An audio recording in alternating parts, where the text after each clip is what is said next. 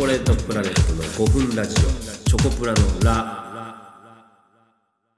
どうもチョコレートプラネット長田です。松尾です。さあ始まりました。チョコレートプラネット5分ラジオチョコプラのラ、えーはい。4月の8日でございますけれども。8日。8日。ね。えー僕らもう15年目。途中です。途中でしょちょっと可愛くなっちゃう、はい。途中 でございます途中ですよ。おいいよいよ僕ら、えー、15年目に突入しちゃいましたね。本当にどうしましょうかねっていう感じでやっておりますけども。はい。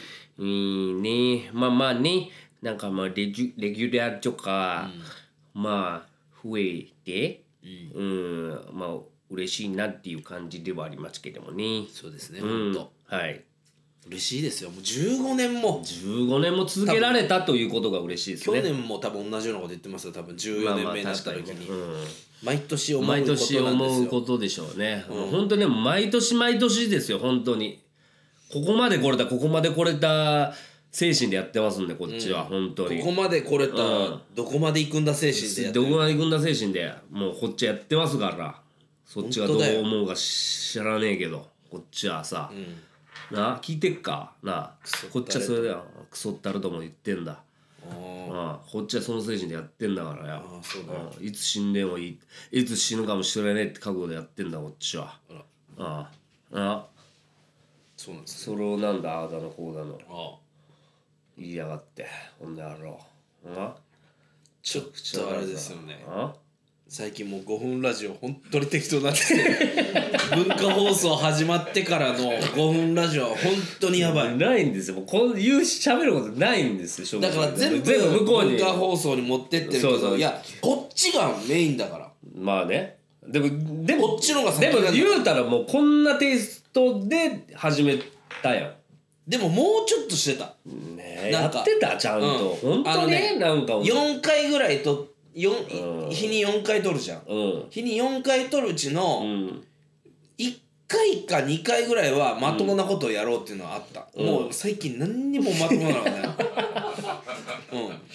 うん、ないですか？ないよ。確かにないよ。ないですか、うん、思うもん。あれなんかそうやっぱなっちゃうもんね。やっぱ電波にちゃんとまあまあまあお金もらってやってる電波に載せるやつでちゃんと喋ろうって思っちゃう、まあね。まああとこのさチョコプラのラーがさ、めっちゃ再生回数回ってたらもっとちゃんとやろうかなと思うけど、そん全然回らないでしょ。いや。1万とかもいかないじゃん。なんかそこも俺このモチベーションの要因だと思うわ。だしうん。なんだろうね。なんかラジオになったりてるのか？ラジオとかでさうん。あのー喋ったことがネットニュースになったりとかさ、うんうんそうそうそうなるじゃん。そこれは全くもちろんならうないじゃん。全くもちろんならない。だから本当に大事なことはもうこっちで喋ろう。あそういうことですそうしした方がいいんじゃない？そしたらまた再生回数がこう伸びるかもわかんない。いや多分伸びないと思う。だって今まで言ってきたもんずっと。だかだからら文化放送始まる前はずっとそうしてたけど一個もなんなかったもんだって。うーんなんかもっとこういいないかないいパッケージこっちでしかできないようなうん。いいパッケージ。だから文化放送ではできない。あじゃあだからあれじゃない、まあ、変な話。もうキャラつけて一個ラジオとか氷室ラジオとかをやっちゃうっていう。うわーなるほど、うん。ちょっとだるいかな。もうだからそうや。なってりゃもうそのマインドにだから無理なんですよ。ちょっだからとだるいよな。ちょっとなるでしょ、うん。なるでしょ？もうだからもう無理なんですよここにだからだからもうこのモチベーションでやってますせについてきますせぐらいのやつを相手しますせでいいじゃん。ああまあもそうだね。もうそれでいいんじゃん。だからあれ、もう今日は言うたっ時て何千人ぐらいは聞いてるってことでしょ？間かまあ三100人ぐらいが10回ずつぐらい いやまあそれでもいいや。それでもいいけど。何百人は聞いてくれてるってことでしょ、最低でも。でもうなんかうん。単独とかさそういう時やる時さ、もうほんと一番最初に発表するのはもう、うんうん、文化放送か。まあ文化放送でしょうね。だからそんなこっちでやる意味あるかって話ですよ。なんか。だからもうもうちょっとだからお便り系を強化するか。